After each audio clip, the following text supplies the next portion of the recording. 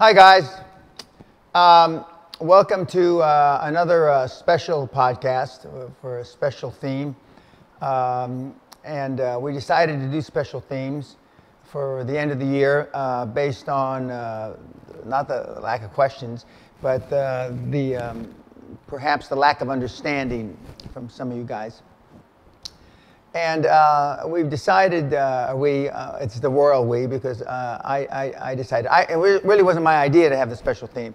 It was my head of uh, marketing and uh, senior marketing manager and her team um, thought that, um, based on all the analysis of all the questions, um, that we should clarify a, a, couple of items.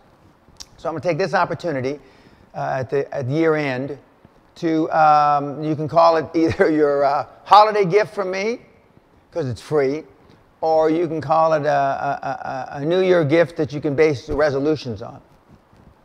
Uh, and although well, I'm not going to talk about goal setting here, I, I set goals between Christmas and New Year's and have for, hell, I guess maybe almost 40 years. Um, but the main subject matter of this, although we're going to divert uh, into a, a, few other uh, tangents, is um, do I have what it takes to be a high performance person? And is this really what I want to be a high performance person? Now, I, I connote or I relate that most of you that are following the personal development and success business, which I don't consider myself a personal development guy, uh, or those of you that follow the, the motivational uh, guys, which I don't consider myself a motivational guy, although I'm told that I'm a very inspirational and motivational uh, type speaker that has great charisma, whatever that means, um, that um, you're doing it because you're filling a void, not because so much you necessarily want to be a high performance person, but you see a lot of your friends. Uh, you got out of high school, you, you may have got out of college, 5, 10, 15 years have passed, you may have gone to a reunion or two, and you see that some of the other guys and gals are quite successful, or at least a lot more successful than you. I remember when I went to my, my 10-year reunion uh, in 1973, which is 40 years ago. Of course, I just had my 50th reunion. Uh, it was in Marina Del Rey, Los Angeles.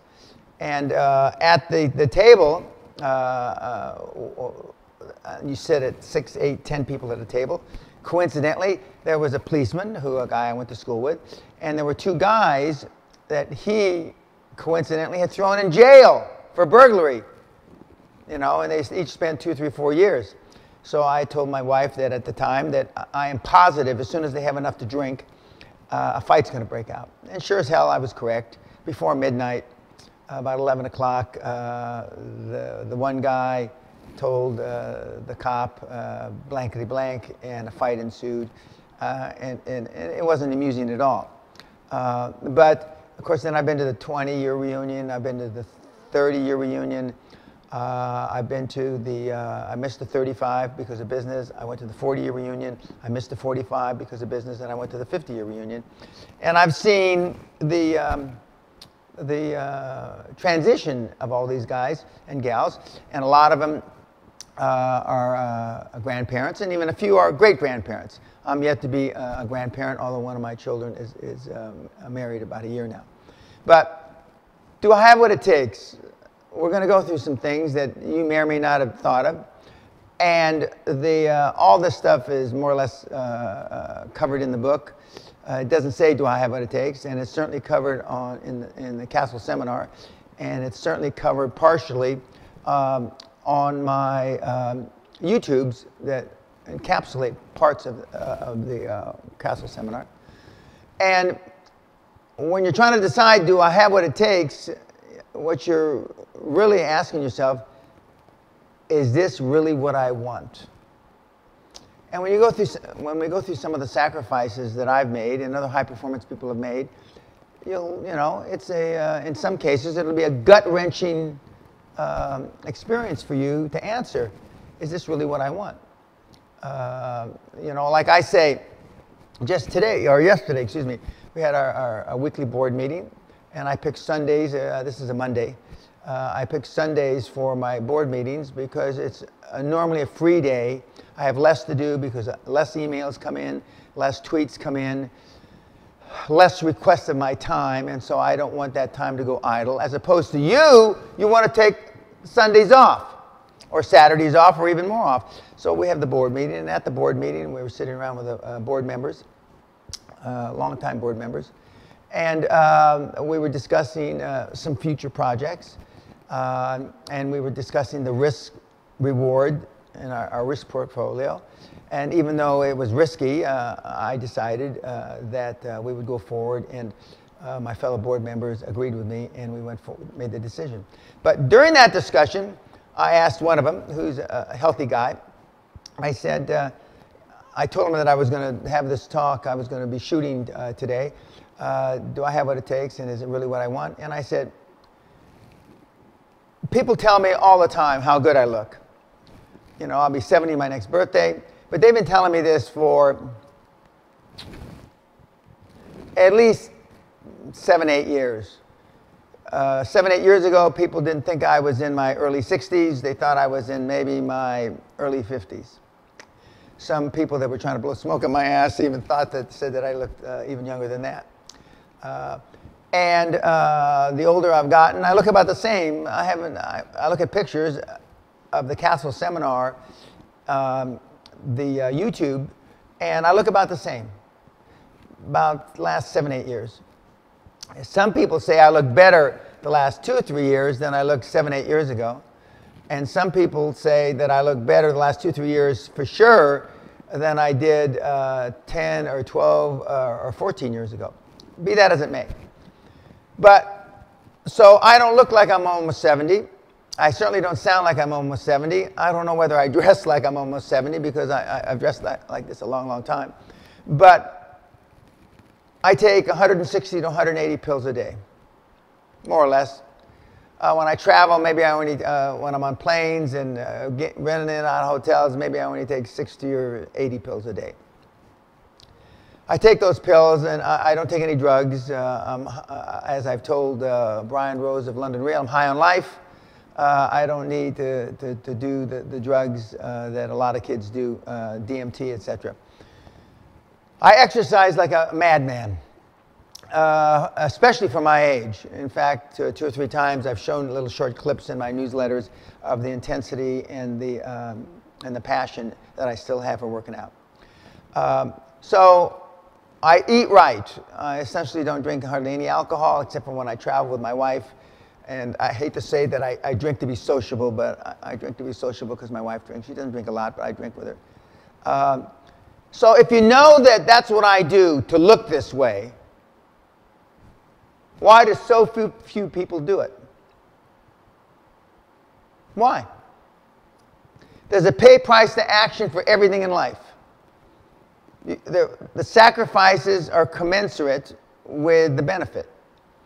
Now, when you have a lot of sacrifice built up over time, the benefits become geometric, and that's what the QLA, quantum leap advantage, is all about.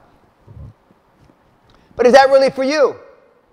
I've said since 1993, it's not everybody's cup of tea. It just isn't. It flat fucking isn't.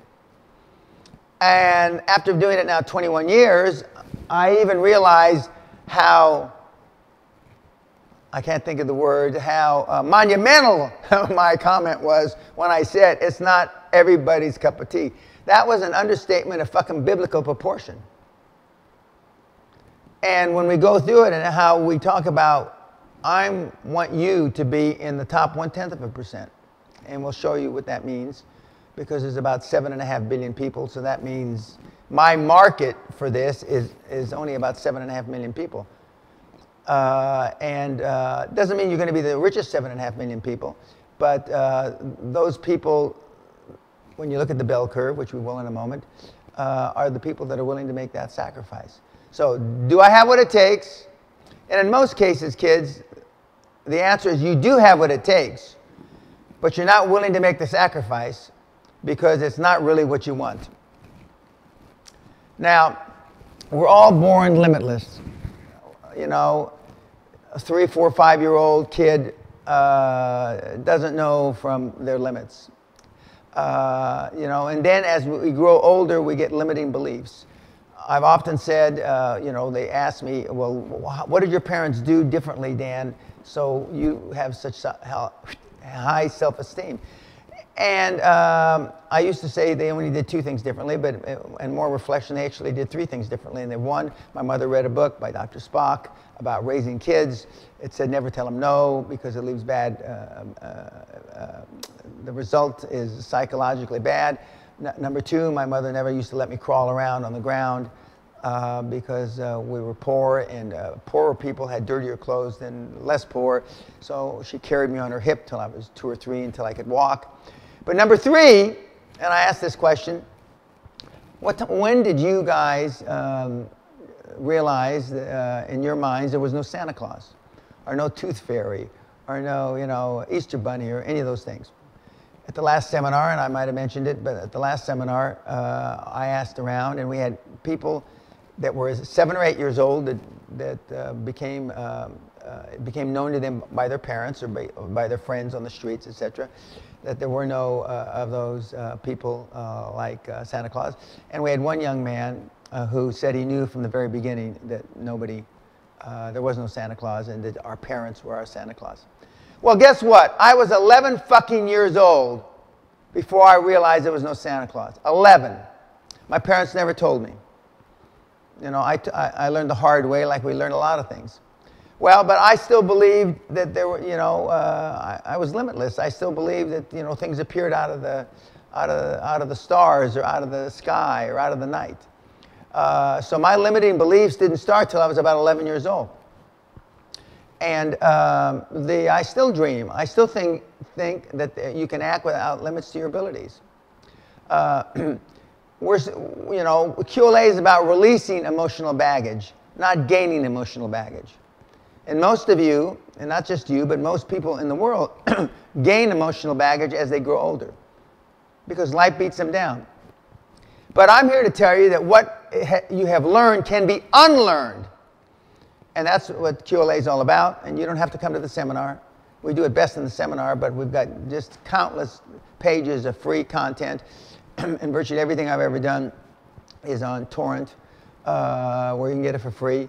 And so you can unlearn it, uh, unlearn uh, uh, bad habits. Um, you know, stay aware of limiting beliefs of others.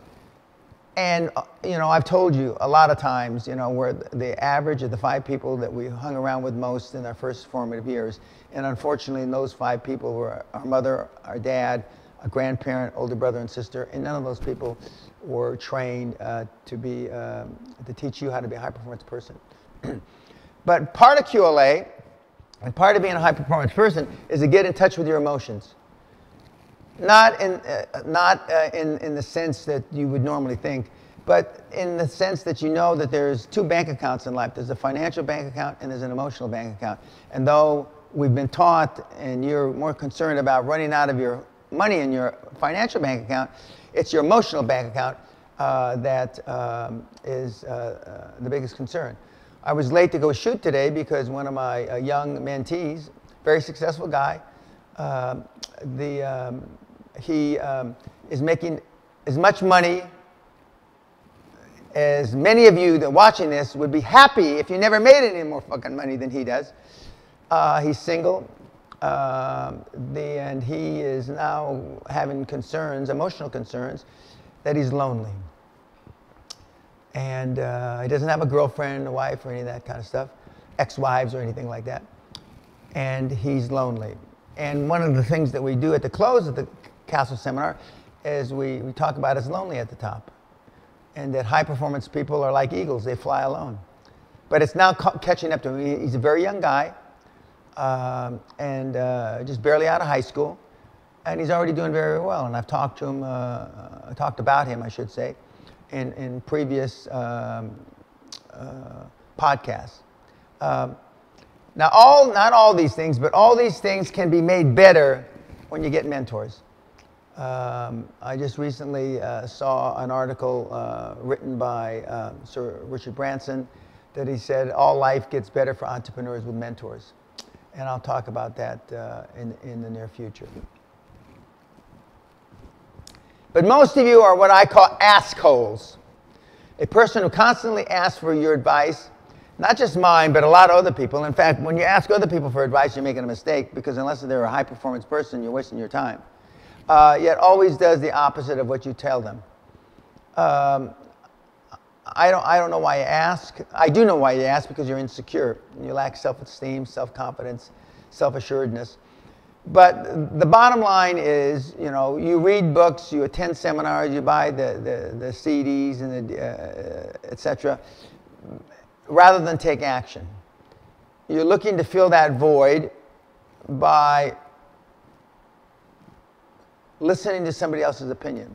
And in most cases, whilst most, a lot of these guys and gals are short-term motivators, where they can keep you motivated for a short period of time, there's no intermediate to long-term benefit, and they certainly don't tell you uh, or show you uh, step by step, as QLA does, how to build a business. Okay. So, so far, you know, uh, is it, does it sound like this is for you, or do you have what it takes? You should ask yourself after every slide and after every little vignette or analogy I go through, I mean, is this really what I want? Um, kids are not programmed for success if you've got a good parent, kids are programmed to be loved, okay?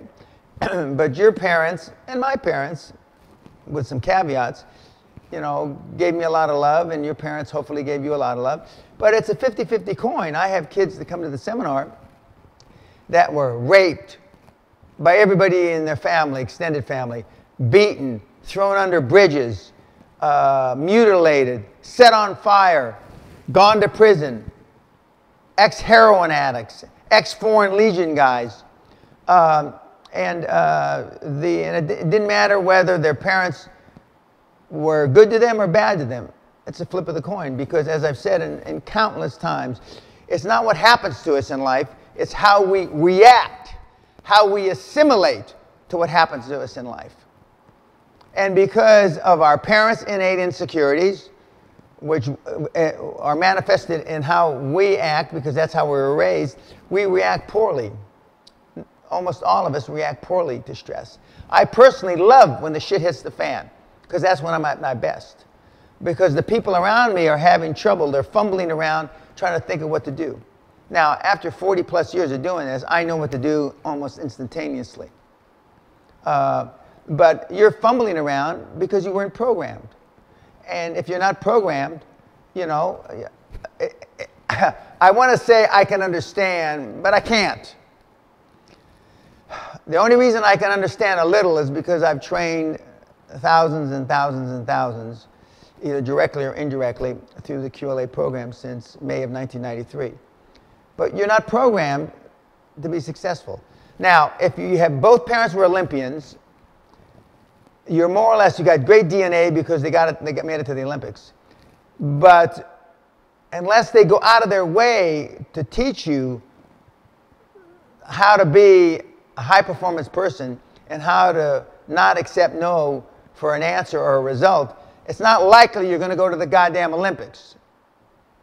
Forget winning medals, because I take my hat off to those people that went to the Olympics, and I use, I've got a big picture of Eric Heiden, who won, I think, seven gold medals in the 1980 Olympics. Uh, and he's got like 33 or 35 inch thighs. I got a picture of him there. And I said, does that, you know, does that look like he had uh, much balance in his life? And we're going to talk about balance. But he was programmed by somebody to be uh, a world-class athlete. And that's why when you have world-class athletes that were former uh, NBA stars and they uh, won, you know, two or three uh, uh, championships. Those guys have a better opportunity to um, to coach and get success. I just spent a couple minutes talking about how we're not programmed for success. And as Freud, and I use a, you know, I, have said that I'm, you know, um, part Jack Welch, uh, part uh, General Patton, and uh, part uh, Sigmund Freud. Uh, Freud said it uh, probably as well as anybody I've ever read, and I don't read a lot of books, as I've told you, what a distressing contrast there is between the radiant, intelligent child and the feeble mentality of the average adult. Now, read it again. What a distressing contrast there is between the, the radiant, intelligent child and the feeble mentality of the average adult. You go to Disney World, you go to those kind of theme parks, you see it in the kids' faces. You go to a birthday party for three, four, five, six, seven year olds, you see it in their faces. You see how, you know, radiant they are. Those are the kids that believe in Santa Claus. Those are the kids that believe in Tinkerbell of, uh, you know, uh, uh, Disney fame. Uh, Walt Disney arguably had that, that feeling till the day he died. I don't have it in, in the sense that he had it, uh, I, but I do have it because I still think, you know, the wall of China can still be built. I still think pyramids can still be built. But in the engineering schools we have today, they tell you it can't be built. Well, then how the fuck did they get there? Now, whether they got there from aliens coming down and showing them how to be built or not, I don't know. But we're, we're fairly confident that uh, those stones were cut by human hands. Uh, the, um, but the seminar, uh, the Guthrie Castle seminar, uh, talks about this at great length and how we get fucked up. And I've said it many times, not everybody likes it, not, in fact, almost nobody likes it, that uh, parents fuck you up. They don't do it intentionally, God love them. Uh, now, some of them, if you got Charlie Manson hatchet murder for a parent, they still probably love you, but they fuck you up. And some of the, some of the parents fuck you up on purpose. Um, I, I, was fortunate, to, as I've said, my self-esteem uh, came from my mom, uh, who I was joined at the hip, and I was really a little mama's boy, uh, first seven, eight, nine years of my life. And my dad is work ethic and integrity. Uh, the, um, you know, I've said a, a jillion times, show me your friends and I'll show you your future. Most of the people that are watching this, for my year-end present to you, or holiday present, or New Year, pre year present, whatever you want to call it, um, have um, low performers as your friends. And you pick low performers, guys and gals, because that's where your comfort zone is. And uh, as uh, Jim Newman, my uh, mentor uh, and good friend for 25 years, a famous author of uh, Release Your Brakes, and just to make a comment, uh, what, what, does that really mean, release your brakes? Um, it's simple. Well, it's simple now, but it wasn't simple when he wrote the book, you know, 50 years ago or whenever he wrote it.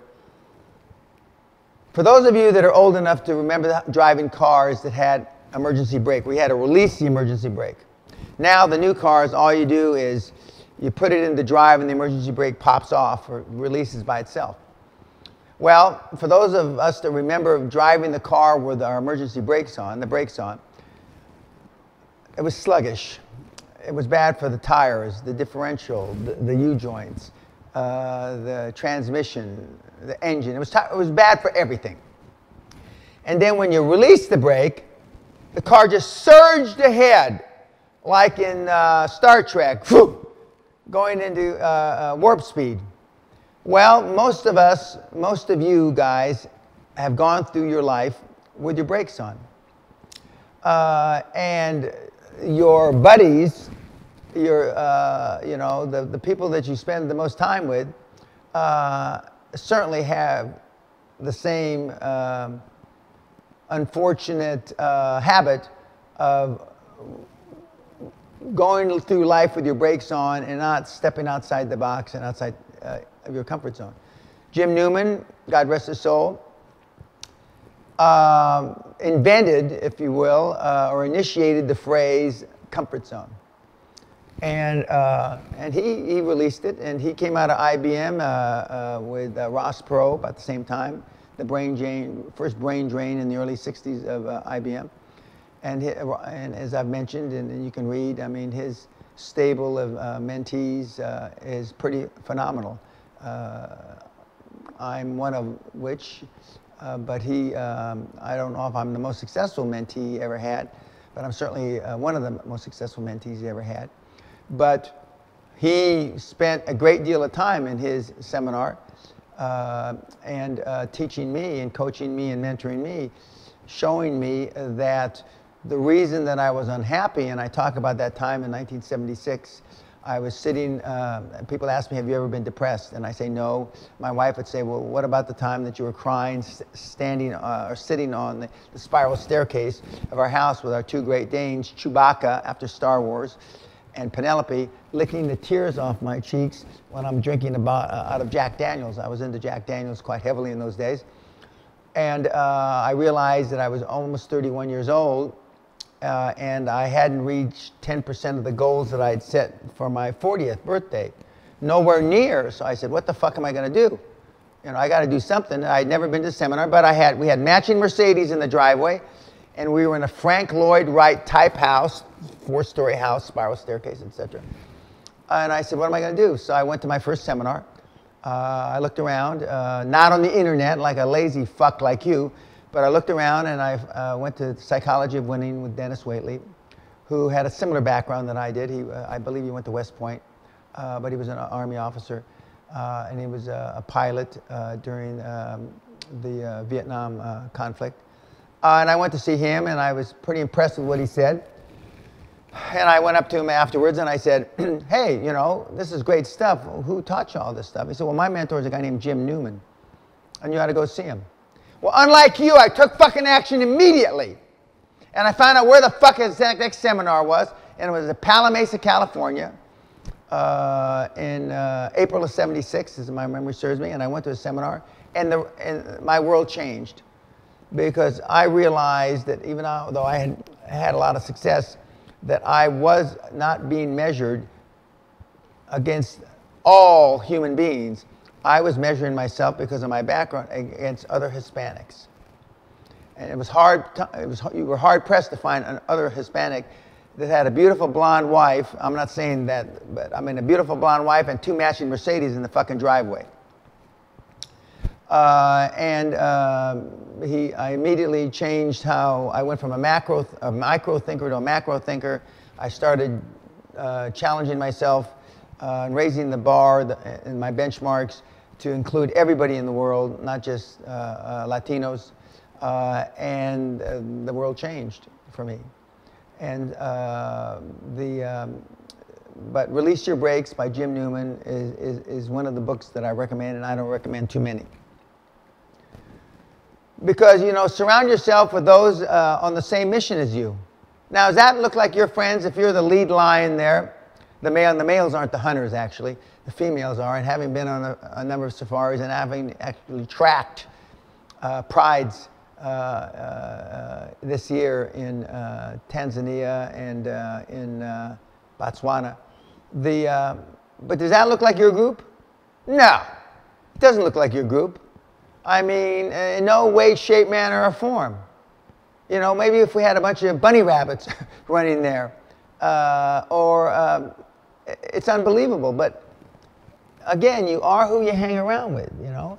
And as Oprah Winfrey says, and which I, I talk about a lot, is that you want people with a like mind and that are better than you, smarter than you, more intelligent than you to get on your bus.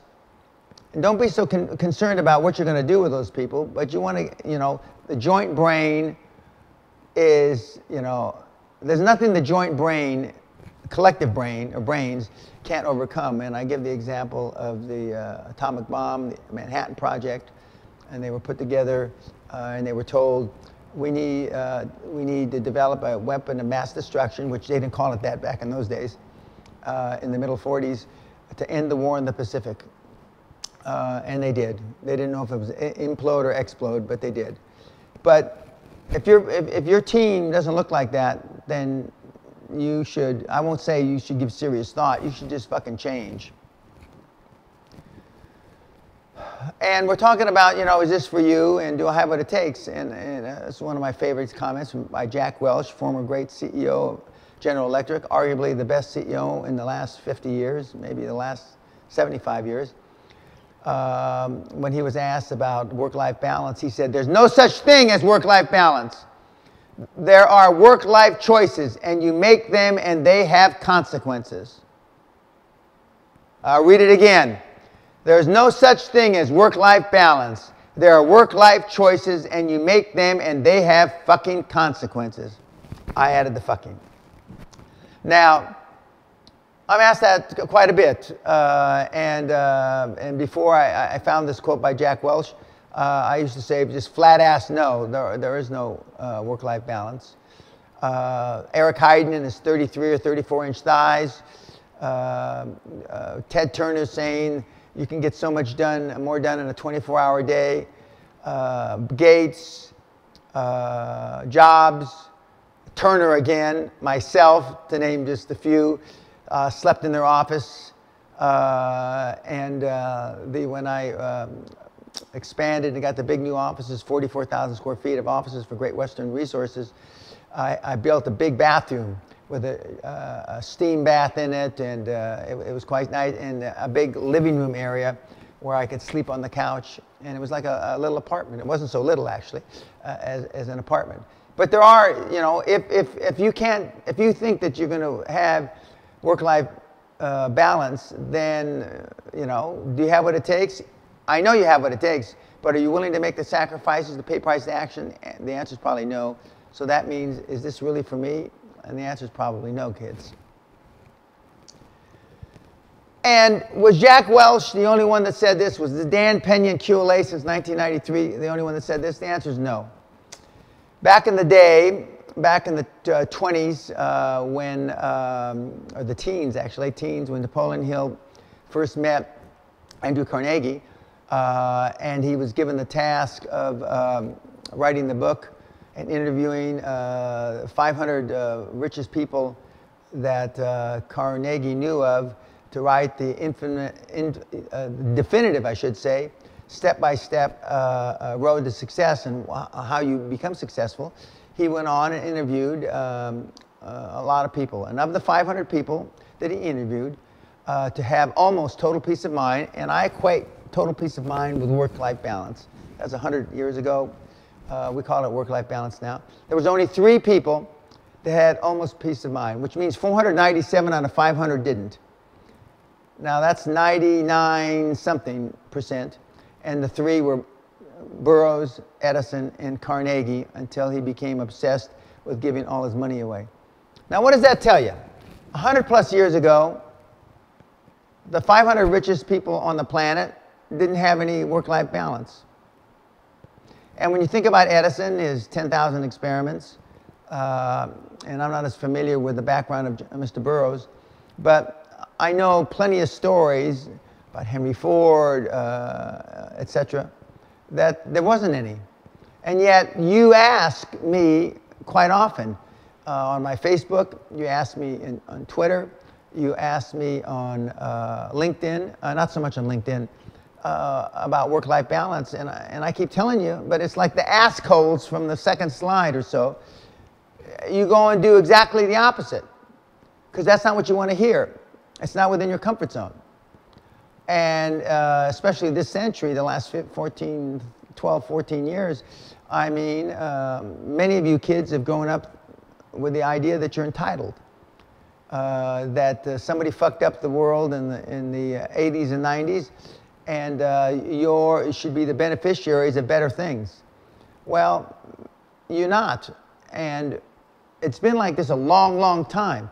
So again, uh, is this really for you? If you're expecting, you know, some sort, sort of uh, work-life balance, then it's not for you. It's not. And uh, a few times over the years, uh, more in the 90s than recently, uh, kids have come up to me and say, Dan, I'm glad I went to this seminar because I now realize it's not for me. Well, then you've saved yourself a lot of time and, and a lot of time and money. And the money you can replace, but the, the time you can't. Because this is you down at the bottom and your dreams. And your goals at the other end of the road. And uh, the, road to, uh, the road to success is always under construction, and there's always uh, potholes and speed bumps. But these are the people that, these are some of the things that keep you from achieving your goals. Relatives, first of all, foremost. Because how they raised you. And remember, they didn't do it on purpose, but they, they weren't trained to train high performance people. Friends, well, you know, you show me your friends and I'll show you your future. Pessimists, uh, which um, quite often are your friends, uh, because it's a lot easier to say it can't be done, and especially by people that haven't done it. And that's why the mentor system and the dream team system is so important because you then find people that have done it, that know it's possible, that know you can succeed against the odds. Uh, and then there's, of course, your own guilt. Like my favorite is Jewish guilt. Although I'm not Jewish, but now they tell me they've done, our tree that we might be, uh, be uh, uh, Jews based on uh, one of my ancestors uh, who was a Sephardic Jew from Spain who moved to uh, Turkey and had a kid by a Mustafa. But anyway, whether that's true or not, I, I like the Jewish guilt the best, although there's Romanian guilt, there's Italian guilt, you name it, and they've, they've got it but uh, because I, I, have a lot of very close friends that um, uh, are Jews, I, I, see how Jewish guilt works. Um, but uh, we're guilty because we're insecure. We're guilty, and some parents, in which I'm, I'm, I'm ashamed to tell you, uh, play on that guilt and, uh, and require stuff from uh, their parents. I, I, I've been in Asia the last 10 years and, and Asian parents, for the most part, look at their children as their annuity. They look at, at their children as their retirement. They look at their children as a conduit of themselves. So they weren't fucking successful in life. So let's, let's make sure our kids are successful so they can support us. Well, I liken that to caveman days. In fact, before the shooting, I asked my staff, who are all uh, Asian here, uh, this reminds me, uh, you know, when I was old, uh, I mean, in old times, thousands of years ago, if the adult, their teeth all fell out, the children and grandchildren would eat the food for the, the old person so he, because he couldn't eat it anymore because he didn't have any teeth. I asked the kids here, would you chew the food of your parent or grandparent, I don't think I said grandparent, but of your parent so they could stay alive um, and they said no. Now, maybe they, they, probably got guilt now because they said no. But the first words out of their, their mouth was no. Okay. Well, I find it easier to be successful and go out and, and, and make money. And, you know, as I told, said in London Real early on uh, this year, you know, um, when your parent has dementia, when your kid needs uh, new teeth or braces, or you need glasses, or you need to put your, your, your mom in a rest home, or et cetera, et cetera. That costs money. That, all that stuff costs money. You can't buy that shit with Zen, okay? And, um, but yet, yet we're, we're still guilty. Uh, and, and the guilt is a lack of self-esteem, uh, lack of self-worth, and how you were raised.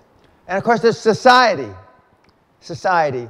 I mean, society in general tells you you can't be, can't be done. And I, and I say categorically, conventional wisdom is al almost always wrong. It's almost always fucking wrong. But, but we listen to society. And there's a lot of uh, naysayers that write books about, you know, how, how you can't do this. Uh, Zuckerberg shouldn't have been able to do what he did, but he did. And last but not least is just your own innate fear. You couple all those things uh, guilt, relatives, society, pessimists, and friends, and uh, you have an inordinate amount of fear about uh, reaching your goals. Because you know, once you reach the goal, let's say, it's harder to continue to reach goals. What are people going to expect of me now? Right now, I haven't done anything, so nobody's going to expect anything from me. So if fear, guilt, relatives, society, pessimists, and friends all work against your dreams in fulfilling your goals. Okay, so you've seen how the gauntlet that you've got to go through from your dreams to your goals and all the things that are working against you. And, and basically what, why you have so much trouble fighting off those, those, those, those obstacles is because weak desires bring weak results. Just a small amount of fire makes a small amount of heat. Napoleon Hill said that. is because of your innate weaknesses, which are, have been, are a manifestation of how you've been raised. But notwithstanding how you've been raised, if you really, really, really want something in life, and you can think about certain things. Some of you really wanted to go out with this person. Somebody you really wanted to marry this person. Somebody, you know, I, I give the example, uh, some couples have trouble conceiving, having kids. Uh, and they don't just give up, do they? They go to uh, fertiliz fertilization doctors. They go, and not just one, sometimes they go to 15, 20, 30 of them. Uh, they, they, they, really, really go out of their way to, to try anything humanly possible. Uh, and uh, because it's something they really want. What if you approach life like that? Now, in some cases, they still can't conceive kids, so then they adopt and they become loving parents my experience is often adopted parents are more loving than natural parents. That's a whole other story. Um, but they really want that. So they really do everything humanly possible. They don't give up the first, second, third, fourth, fifth, eighth, fifteenth, twentieth time. They keep trying and trying and trying. Well, just imagine if you did that vis-a-vis your dreams. Now, women say there's nothing stronger than the dream of, of, of, procreation. I don't know that. But I do know for the most fact that women are normally my best mentees because they're tougher than men. Their emotional uh, baggage, although there's a lot of it, they're used to dealing with it, and I think that's because of uh, the ordeal of motherhood, whether they're a mother yet or not. But when you think about not doing something, or you think about, well, I don't want to work today, or I don't want to work late tonight. Uh, equated to, you know, this analogy I've given you about um, couples trying to conceive. They don't give up. Uh, and the, uh, we give up too easily. We just give up too easily. Because, you know, I want you to, and the people that have been successful, and the people that this is probably is for, you know, is, you know, do I have what it takes? Almost all of you do um, is, is this really what I want? I want you to make the big, bold decision because if you don't make the big, bold decision and you play it safe and you stay where you are, is that what you want? You wouldn't be listening to these podcasts if you wanted to stay where you are. You wouldn't be going to my site. We have about 40% of the people that come to danpena.com are um, repeat devotees. And we have about 10 or 15% of the people that come to my site who come, you know, a couple dozen times uh, a month. And we have some that come over 100 times a month. Uh, because reading everything on the site doesn't get you there. You have to assimilate it. It has to be part of your normal uh, uh regimen you have to you have to be indoctrinated with it, and so you, and you do that by reading it over and over and over. Um, I had a, I have a friend, God rest his soul, uh, Charlie Conrad, uh, who was the third man to step on the moon, an astronaut, and he, he used to say that um, they repeat things, everything that possible, every permutation, every possibility, and they repeat it countless times until it becomes rote memory. QLA has been my life for a long time. I was living the QLA model even before I called it QLA, you know, uh, 40 years ago, ever since I uh, graduated from Officer Candidate School in July 1967. I didn't call it that same time. But basically, uh, uh, losing or not accomplishing the mission was an option, was not an option. That's what they taught you. Um, and uh, the last 21 years, I've, I, have I've seen it and I've, uh, I, I've lived it uh, and so it's second nature to me. I mean, I answer questions, although I have these slides, you know, I could uh, make a similar talk without slides, um, but uh, without cue cards. But it's part of my life. The most successful mentees that I've had over the last 21 years are the people that uh, make it part of their life, where no is never an option and completion of the mission is not an option. They just get it done. They just go fucking do it no matter what it takes. As long as it's legal, moral, ethical, you're not breaking any laws. Um, but you want to stay where you are. If it doesn't bother you, if it doesn't make you ill, if it doesn't make you nauseous, if it doesn't make you uncomfortable staying where you are in your current comfort zone, then this is absolutely fucking not for you. Don't waste your time. Fucking unsubscribe. Do us both a favor. You know. I say sarcastically, you're taking up my bandwidth. I don't know if technically that's really true, but you know, go do something else. And I would also recommend um, that you don't need to waste your time on a bunch of personal development success materials. All you're doing is filling the void where you should be taking action.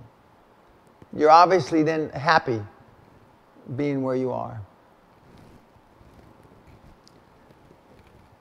We are brought into um, this life um, innocent. Then life happens. Most info given uh, reference success is wrong unless you are lucky, which is questionable, uh, enough to have a high performance wealth creators as parents. This is an interesting topic. I say which is questionable. Napoleon Hill said, and I agree, uh, the most fortunate man or woman, he didn't say woman, but most fortunate person is the, that person that is born into poverty. Now, there are certainly people that were born into greater poverty than I. Uh, and uh, as I admitted uh, to my wife here recently, she was poorer than I was growing up. And uh, she, she felt that like uh, a big success to get me to admit that. Um, because when we talk about uh, vacations, uh, my parents, uh, you've seen on my site where my house used to be, Sally lived in a little caravan. Caravan is like a small mobile home, four people in about, uh, I want to say 30, 20 or 30 square meters. And uh, she remembers that very vividly. Uh, and uh, she remembers going to Blackpool. Or her, parent, her family was from Blackpool. And I've gone to Blackpool with her a couple times. And it's not one of the great uh, vacation places on the planet, believe me. Uh, and the, uh, and I, when we're watching these movies and Sally, had you ever been to Disneyland? Of course, they, they didn't have Disneyland. They had Disneyland, but she, she was in, uh, in England, so she had never been to Disneyland. And Disney World or Paris had been opened up afterwards. Have you ever been to any theme parks? She says, yeah, the, uh, the one in Blackpool. Well, that's not exactly a theme park. And so I remember going to Disneyland in 1955, shortly after it opened. And my dad and my mom took me. My dad was a cop, policeman, he pivoted into other careers, but at that time he was a policeman. He wasn't making very much money. Uh, and I remember him even taking us to Las Vegas once. And we stayed and we were watching a movie um, about Bugsy Siegel, the, who was really the founder of Las Vegas. Uh, and he had the Flamingo Hotel. Well, I remember what the Flamingo Hotel looked like in the 50s.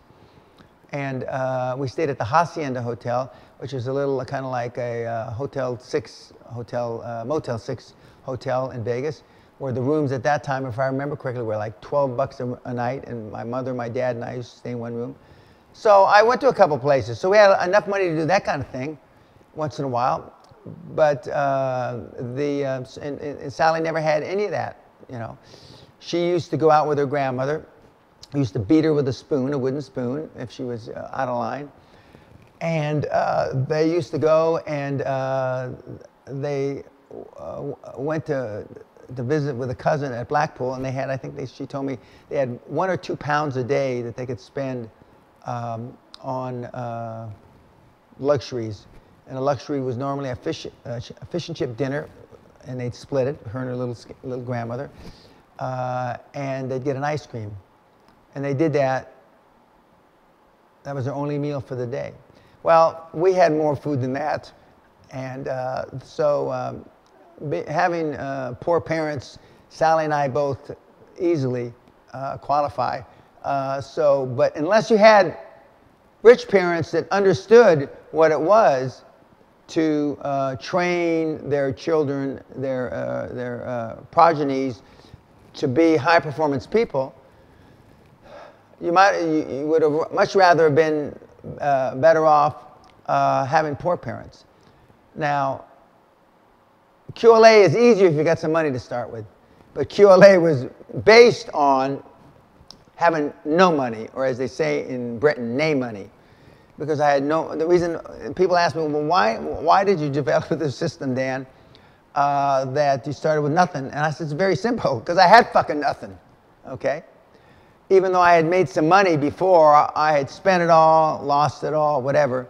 Uh, and uh, so I had no money. I had 820 bucks. Um, but we're brought into life innocent, and then life happens to us. Again, do I have what it takes? Most of you out there do. Is this really for me? The answer, as we go through these, this presentation, more and more of you are either saying, hey, this is what I, I mean, this is what I want, or, well, I'm not, I'm not so sure I, I'm willing to make those sacrifices. And if there's even a shadow of a doubt that you're maybe not willing to make those sacrifices, this, this, this shit's not for you. Self confidence, is it nature or nurture? I'm often asked, and again, we're getting back to uh, do I have what it takes? Again, almost all of you, the answer is yes. Is this really what I want? And I, and I believe that for most of you, it's not. But is self confidence something that you're born with or is taught and developed? It's, a class, it, it, it's the classic nurture versus nature argument. Now, I certainly wasn't born this way. Um, I have good genes. I look young, uh, but part of me looking younger than I really am is the fact that I work so fucking hard at it. Okay, and I and I realize because uh, I pride in what I look like. Okay, and there's a, you know, uh, there's a big difference in my mind between pride and ego. A lot of people say that ego drives me and drives other high performance people. Well, I can't speak for other high performance people, but I sure as shit can speak for myself. Pride drives me. I want to be the very best at what I do, no matter what. Uh, and that has even gotten stronger and stronger and stronger since I started coaching. Uh, but it, your, your high performance attributes can be nurtured. But starting with what my parents did for me when I was uh, young no nos, work ethic. Uh, I, it's a little hard for me to say without a smile on my face, you know, make sure your kids believe in Santa Claus as long as they can. Uh, and uh, that's part of the nurture. You know, education wasn't in high priority uh, when I was growing up because I was always getting in trouble. Uh, but um, the, um, so I, I believe you can't, it doesn't hurt to have good genes, uh, which I obviously got from my parents who lived to be uh, uh, around, around, this planet a long time. But, but to nurture it. Speaking of nurture, we had a, a, a woman and her husband wanted to bring their 10 year old, uh, I might have mentioned this before, to the seminar, but I decided that the 10 year old little girl was too young to come to the seminar uh, because some of the things we discussed, um, hell, she may believe in Santa Claus still, uh, are, uh, which is good, but to hear her, for her to hear some of the things, not only what I say, but what the attendees say, and I don't want the attendees that would have attended with her uh, to be stifled in their thought process because it's not fair to them because they're not being able to use the seminar for what it's worth. But you can nurture them, and I appreciate the idea that the woman wanted to bring her 10 year old. It's a little too young. But I'm hoping that, you know, in another three or four years, uh, five years, uh, when she's 15, that she'll be able to do it. But, but you can nurture. You can. Because, you know, we think, you know, what do we see when we look in the mirror? Do we see a little pussycat? Most of you are pussycats. Um, when I look at myself in the mirror, this is what I see. I see, you know, uh, Leo the lion, and I tell the story, which is true. It's not, a, it's not fiction. Uh, that I have a different outlook on uh, things that would normally make you afraid. But we've all got the lion in us. You know, I, I, I give a section in the, at the castle, it's called Release the Beast. Some people say it's easier for me to be a beast, which the people that are saying that, I believe in my heart. And I do have a heart, and I do have uh, blood running through my veins, that they're trying to say it as not such a uh, complimentary thing. But I turn it around and I say, it is complimentary. And uh, not all of us like what we look like. That's a whole other subject, and we, we, we talk about that in the seminar at great length. Um, you know, I'm too, t- I'm not tall enough. Uh, I'm too fat. I'm too skinny. My bre- breasts aren't big enough. My, you know, my breasts are too large. My ass is too big. My, ah, I can go on and on and on and on. And uh, the, um, but those that feel confident in themselves see this. Now, this was me. I'm 13 years old. This is 1959, uh, March of 59. You see the date on the picture. It's also in my book, I believe, both uh, my last uh, uh first and second edition of Your First 100 Million. That's me under, remember the lion running with a crowd of lions, and remember the lion that the, the pussycat saw in the lion picture as a reflection. That's Jackie the lion, uh, Jackie, I think the sixth or seventh. That's the Metro Goldwyn Mayer lion as about a two year old male, uh, crawling on my back, as you can see. My mother was holding the camera in horror. My dad was off to the left. And Melvin Koontz, the guy that owns Jackie the Lion, he had a place called World Jungle Compound. And during the Depression, my dad, who lived in East LA, Boyle Heights, the uh, Mexican Beverly Hills, BH, they, uh, he got a, a lion pup uh, somehow, and he raised it, and finally the neighbors told him that he had to get rid of the, the lion because the lion was killing cats and stuff. And so he went to the movie theaters, and he went to Metro Goldwyn Mayer, uh, and uh, sold it or gave it to uh, Metro Goldwyn Mayer, and that's how the lion, when you hear the ah, the big lion in Metro Goldwyn Mayer, that was his great grandfather back in the 30s and uh, the um, and, and Melvin Koontz had this place called that's in Thousand Oaks, California, about 30, 40 miles outside Los Angeles. And um, as you can see, uh, I didn't look afraid. Um, I didn't uh, look uh, that uh, I thought something was going to happen. Of course, lions that big can kill you. Lions that big can eat your head off. Or lions that big can do you a lot of goddamn da- damage uh, as uh, Sigmund Freud uh, in Las Vegas showed about 10, 12 years ago when the, the big cat ate away part of his head. He lived, fortunately. Uh, and, um, but that's how, that's how I was raised. Now, most of you parents wouldn't allow your kid to do that. And now, because of the politically correct bullshit that we go through, most, for sure, none of the zoos, etc., allow you to do this. Uh, and I was just fortunate through serendipity that uh, Melvin Koontz, the nice man, when my father took me there, uh, and we used to do a lot of things, go places that didn't cost any money, and we got to go to World Jungle Compound for no money. But when, we, when Sally and I were uh, in Thailand last year, um, I, I, I, jumped and fought with a, the big tigers. Uh, and I believe those pictures are on uh, YouTube. Uh, and, um, and, to this day, I'm, I'm not afraid. And my parents, in, in, inadvertently, by accident, were training me to be a high performance person. Now, I certainly had no aspirations of ever being in the circus. I, I certainly had no aspirations of ever training lions. But look at that. I mean, and here we are, that was 1959. So I was almost, uh, I was 13 and a half, and now I, I, I'm 69. So uh, 56 years ago, that was a training that I was going through. Now, I, am not suggesting that you do the same with, um, with your kids, um, but it's one of the reasons I'm not afraid of animals. It's one of the reasons I'm not afraid of big animals. And big animals are afraid of me. Big 200 pound Great Danes are afraid of me. Big Mastiffs are afraid of me um, because they, they, operate under the, the pack system and uh, they realize that I'm a, an alpha male. So there I was with a lion, okay? Now, the fact that the lion didn't eat, eat me or tear my arm off or whatever, uh, and what that picture doesn't show is that after that picture was taken, the lion pushed me over on my side and I'm rolling around on the ground with it, and my mother stopped taking pictures and panicked, but I was fine. I was fine. I, I wasn't scared or fearful for, for a moment.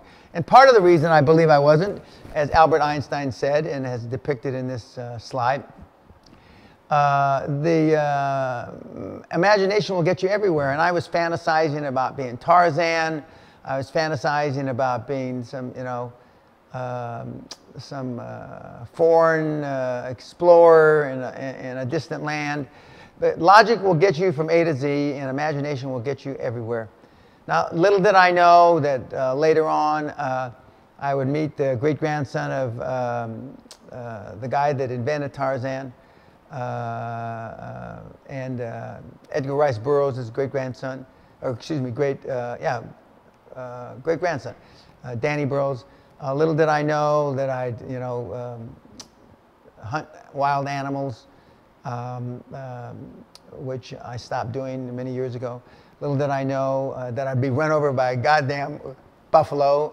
Uh, little did I know that I do some of the, the crazy things with animals that I've done. But I, am sure that that fact that I had been exposed to that line at uh, 13 years old, uh, you know, uh, added to my imagination of what was possible. Um, and I didn't develop, as almost all of you uh, in, that are reading, or excuse me, listening to this, the, um, the syndrome that you wanted to fit in most of the kids that I, I dealt with, uh, and although I did suffer from it a little, and I say the word suffer, um, that, uh, but they wanted to fit in. Now, the only thing I wanted to fit in is I didn't want to get in a lot more trouble than I was already getting in. You know, for a kid that was um, expelled three times from school, uh, expelled, thrown out of school three times before he was 10 years old, uh, is pretty significant. And, and that's why my parents moved uh, uh, shortly thereafter to a new neighborhood so I could uh, get a fresh start, as it were, at, at the time. But I wasn't too, too worried about fitting in. And, you know, is this really for you? Most of you have been raised, if not almost all of you have been raised with the idea to fit in. Don't, you know, now, one thing, don't get in trouble. I understand that. But a lot of you have done drugs to fit in with your uh, friends. And uh, a lot of people tell me that you don't understand what peer pressure is. Well, peer pressure in the barrio, in my judgment, is, is a lot tougher than peer pressure uh, living in uh, the suburbs to do drugs. Um, but um, today, peer pressure is, is pretty fierce. But if you're desperate to fit in, then QLA is not for you. And if you're desperate to fit in, then um, you know, uh, even though you've got what it takes, uh, this isn't for you. But if you're desperate to fit in the high performance model, then you've got to go no fucking farther down the road than this. You have found it. it there's no gilt edge panacea. There's no absolute guarantees. But I do know this every single person that has ever touched um, QLA has either decided it was for him or her and gotten better, or decided it's not for them and left it alone and hopefully went on eh, to be happy. Uh, the, um, but this is not for the individual that is desperate to fit in, unless it's to fit in the high performance model. Because, as Freud again said, intellectualization is the most reliable of defenses. What you all do, what your parents did, what your grandparents did, and what you've taught your children is to rationalize what you've done, where you are, and unfortunately, where you'll probably end up. And that's a defense mechanism. It's a coping, a coping mechanism. Uh, and uh, that's unfortunate. And I believe it's nurtured it, it's not nature. In other words, you're not born with a DNA. You're not born with um, your ability to make excuses, alibis for your defenses. In the seminar at the castle, we spend a probably 45 or 50 minutes going through a number of alibis, excuses that I've received in 21 years of being a coach, mentor, high performance with high, high uh, potential high performance people, and many of them ultimately becoming high performance people. After the first couple slides, and I normally have somebody else read it, after the first couple slides, they think it's going to be over, and then it goes on and on and on. And so several slides later, they uh, realize that the excuses and the bullshit rationalization that you have for not being more successful are almost endless. Almost endless. Because uh, it's, it's, it's the most, you know, rationalization, intellectualization uh, is the most reliable of defenses, and it has been since Freud's day. Now, this is a great example. We show this slide two or three times in the, in the Castle seminar. it's from one of my mentees who's on the Hall of Fame from his mother, who I know. I happen to know her pretty well. She's a few years younger than I am, and we've gotten to be uh, good friends. They live in the United States, and this is to her son. Hi, honey. Please tell Dan hi. He is on my mind and my heart. He is so right about women, in parentheses, moms, fucking up in parentheses, their children's life. Signed, Mom. Now, I've had grandfathers, daughters, granddaughters in the seminar. We've had a few times three generations, uh, and we've had two generations on uh, more than one occasion. And we've had brothers, sisters, twins, etc. And when we get around to this exercise in the seminar, about uh, how they got fucked up. And when the granddaughter turns and looks at the mother, and the mother turns and looks at the, uh, the father, the grandfather, um, why we are the way we are. And, and, and this is not the only mother um, or parent that has written me. And it's not the only castle's uh, attendee, and she's never attended the castle. Her, her, her, her child has attended the castle on, on several occasions. Um, that the actual people in the seminar say that, you know, they're fucking up their own kids now. Because several, you know, many, many people that come to the seminar have grown children and have even grandchildren. Uh, and hopefully, when they go back to their regular lives, they'll never be regular again and they'll never be normal. They'll learn from this expo exposure that, you know, that that's not what they want to do to their kids. But moms admit it. And moms normally admit it more readily than dads. So I'm not making this shit up, guys. You know, and all our parents, my parents included, although they did a lot of real right things, you know, I was, I was fortunate. But I took those right things and I ran with them. Um, and, uh, you know, I've talked to this guy's mom on many occasions about this. And she says, you know, I know, Dan, it's, it's all bullshit, but we did the best we could. And well, but I tell her, but the best wasn't good enough, was it? And she says, no, it wasn't. It wasn't. Here's a cute picture, one of my favorites, and the, and the, the seminar attendees go crazy when they see this. It's, it's a picture of a psychiatrist talking to a bird, and it says, My mother used to puke in my mouth. How can you be normal if your mother pukes in your fucking mouth? Well, the, the, the, the, the analogy is well put, but that's, you know, it's no wonder the kids get fucked up. And by the way, I get these slides from parents, mothers, daughters, grandchildren.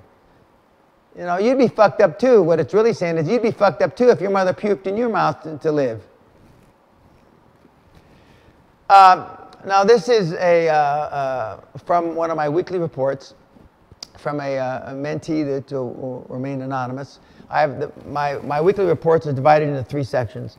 Accomplishments for the week. There's, there's breakdowns, but I'm making it simple now.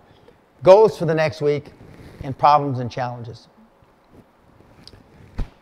This, this young uh, person um, filled out the problems and challenges, and he's relating a conversation he had with his father. Talked with my dad yesterday. He was very uh, unsupportive of my goals. The conversation was, some, uh, was something like, was something similar to the scene of the movie Rot Rudy, uh, uh, where the father tells the kid it's not for people like us. Remember Rudy Ruettiger's dad's telling them, people like us don't go to Notre Dame. People like us don't play football at Notre Dame. People like us work at the such and such and support our families. Uh, I don't understand this kind of mentality, um, i.e., not to have go high goals, the kids writing uh, to me, it doesn't make any sense. Lately, I've also had a strong wake up realization that most people that um, I'm surrounded with and uh, talk to are small minded. I have to escape from the, the convention, conventional uh, life and put uh, myself in a new um, setting where I want to be. Well, conventional wisdom is almost always wrong. This father is just relating what the mother in the slide previous to this about fucking up their kids. Here's a father who I happen to I not personally know, but I happen to know he's a well educated engineer uh, who's telling his son, um, who's also not as well educated as his dad, but uh, is, a, is, a, college university graduate, which doesn't make you successful, uh, that uh, to be, um, to have goals like he's got are, not realistic and not for him. Now, wh why would any parent tell their kid that? You tell me.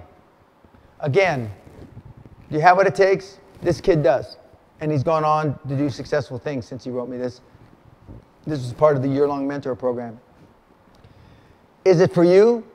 For this kid, it's still for you, and he's fighting against his, his dad. His mom's more supportive, but his mom doesn't talk to his dad about it, as it what occurs in many, many families. So he has what it takes, and he's showing he has what it takes. And is it for him? And he's going against the grain. He's going against his parents. Now, you know, there's a lot more that happened subsequent to this. You know, uh, being uh, disowned, more or less, by his dad. Uh, but he wants this kind of success more than anything. So he's making that sacrifice. The question is, are you willing to make that sacrifice? That's the question. Here's a young person that was willing to make the sacrifice, and this was on uh, online in the, the, Mail Online. It's uh, English newspaper. They only shot they only shot a body, but they cannot shoot my dreams. Pakistani girl shot by a Taliban reveals she wants to be prime minister uh, as she misses out on the Nobel Peace Prize. She almost got the Nobel Peace Prize uh, a year or two ago. Well, this woman, young woman, uh, who's now I think 14 or 15, something like that. Obviously, did she have what it takes? Absolutely. Uh, is it for her? Absolutely. Now, most people that almost got their brains blown out or got part of their face shot away would, um, you know, many people, I won't say most, would lose resolve. You know, she's obviously made the pay price to action, and now she's under current constant death threat. Uh, and uh, I wouldn't be surprised at all if she isn't prime minister. Um, but now, man, sacrifice are, are costly. Do you have what it takes? Yes. Are you willing to pay the price? Only you can answer that question. And here's a kid that answers the question uh, and I have to stand up to read this because it's a little far away.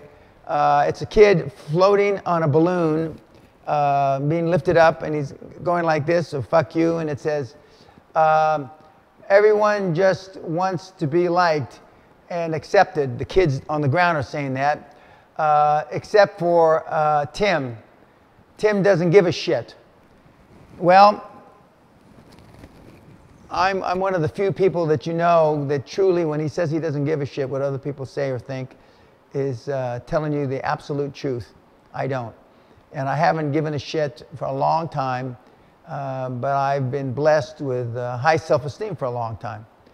And uh, the, uh, in many of my mentees, it started out uh, that gave a shit, don't give a shit now and that manifests itself in different ways in how you deal with your family, how you deal with your, uh, your partners, your spouse, uh, how you deal with your kids, how you deal with your employee. Should you have uh, uh how you deal with your employer? Should you have an employer? Should you be on your own? This manifests itself in a lot of ways. And you don't have to do it this way, fuck you. But if you want to be a high performance person, if you think that Jobs, Gates, Ted Turner, Donald Trump, Zuckerberg um, care what you think, you're living in a dream world. They don't. Now, the question you have to ask yourself is can you make that transition closer to their and my end of the continuum where you care less? If, if the answer is yes, then this is for you. I'm hoping, I'm praying, I'm wishing uh, that you take action after you hear this podcast. And uh, even more action than just listening to the podcast. And it doesn't mean coming to the Castle seminar. You know, uh, uh thankfully, um, you know, Castle seminars seem to be fully booked uh, in, in recent months. But avail yourself of all the opportunities on uh, my website uh, avail yourself of the free torrent stuff. Uh, avail yourself of the tests, etc., of all the YouTube uh, information. There's, there's a plethora of information about QLA and how to be a high performance person. Uh, only you can decide. I've already told you, do you have what it takes? And the answer is yes. But do you, want, you know, do you want this? Is this what you want for you? Are you willing to pay, you know, it depends on whether you're willing to pay the uh, pay price to action, the sacrifice. Only you can answer that. I can't. Here's a young mentee that wrote me this, this earlier this year, um, who's uh, on the Hall of Fame as well. Uh, this was written to me. I'll start from the bottom up. I don't know why. I guess is the way they come on Twitter. Uh, December 24th. Uh, gotta hear it, huh? oh, I'd asked him, who taught you all this stuff? Got to hear it, huh? Get my most important uh, skills uh, while being kick assed, mentored by Dan Pena. Uh, again on December 24th. Dan Pena, um, this is one for your book. Um, let's see, uh, the, teach, the teachings of Dan Pena made me $50 million hard cash. January 1. It's it's good. Uh, all uh, it's it's Dan Pena fashion. all 2014 goals are defined in writing and between audacious and seemingly unreachable. Uh, topping it up once again. He does his goals as I taught him between uh, at the end of the year. And then on January 3rd, uh, got to admit, at 12 years later, I'm still using the weekly report system uh, that Dan Pena hit me with uh, reporting to myself uh, for the, over eight years. he's been out on his own for eight years. And he's, uh, now, he's made a lot more than $50 million, but that's a $50 million hard cash you put in the bank. He's been involved in you know, hundreds of millions in projects, and, he, and he's built up a nice net worth. And today, I believe he's, uh, he'll be 38 this year. 38, or he's, oh, he's 38, or he just turned 38 this year. And I uh, started with him when he was about 24, 25. Uh, and uh, he has no formal education. Uh, and he was an entrepreneur since he's 16, comes from a little town, uh, uh, small population. and my advice to him, he had to leave where he was. And not only did he leave the town, the country, he left the continent. and he is now in the uh, Western Hemisphere, being very, very successful, and I'm proud as hell of him. In fact, I saw him about a year ago. One of the places we stopped off on one of our trips, Sally and I, hadn't seen him in a few years, hadn't seen him in five, six years. Uh, and he was doing terrific, and I'm, I'm proud as hell. But he's still using the weekly reporting system, but he had to get out of his comfort zone, and I told him he had to get out of his comfort zone if he wanted to do the things he wanted to do. I just gave an example of a guy, a young man, uh, who had to leave his small town, uh, had to leave his family behind, um, had to, uh, didn't have to do anything, but he wanted to follow the QLA, uh, and uh, not only left the town, the country, the continent, uh, and is very successful. Here's another example. coincidentally from the same continent, uh, neighboring countries. Um, but his reaction was incredible. I got all I uh, wanted to have. Okay, I gave him uh, as well something, but all at the end I will profit more. I hate to tell you this over and over again, but your QLA stuff is like magic. You can play with all these guys, and this one attended an Ivy League uh, school with uh, summa cum laude, Bing Bang. I don't know what Bing Bang means, but I do know that this guy was a, um, a uh, Ivy League grad. Uh, and he's, in fact, he's a TV personality. He's very, he's very famous. And this kid that, that, um, that uh, took advantage of him in a, in a, in a legal, uh, moral way uh, only has a high school education, uh, no university, uh, but was a, at one time a world-class athlete. and the, his athletic career when he blew his knee out.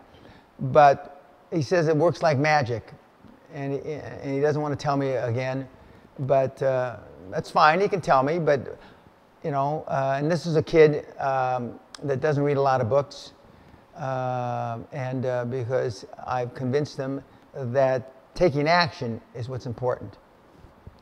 Uh, the um, uh, the first kid was a, a graduate of the Castle Seminar, and this kid has been to the Castle Seminar a few times. And um, as compared these two with the previous kid, who his father uh, told him that uh, being a high performance person wasn't for him, it was unrealistic. And he succeeded in spite of um, uh, what he was told by his parents.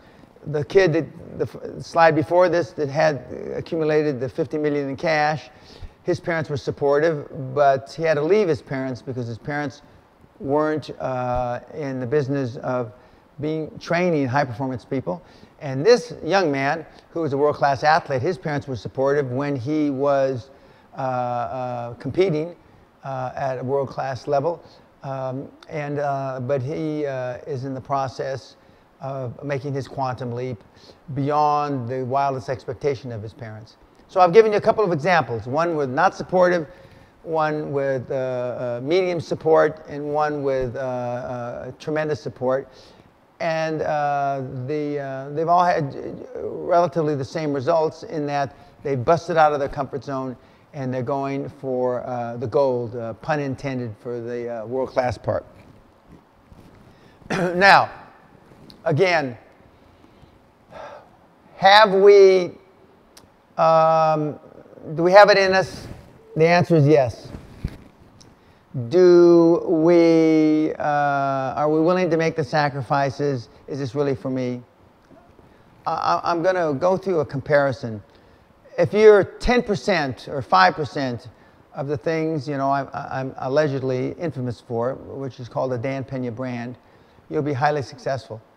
Um, people often tell me, Dan, I can't talk like you. My communication skills are nowhere near as good as yours. Uh, I don't have the charisma you do, etc. Okay. Well, I've developed this over the years, but if you're 5% as good as I am, uh, these are some of the things that you'll be able to accomplish. Um, the, um, I've, cr I've created through my mentees uh, and my devotees uh, since 1993 over $50 billion uh, in uh, equity and value.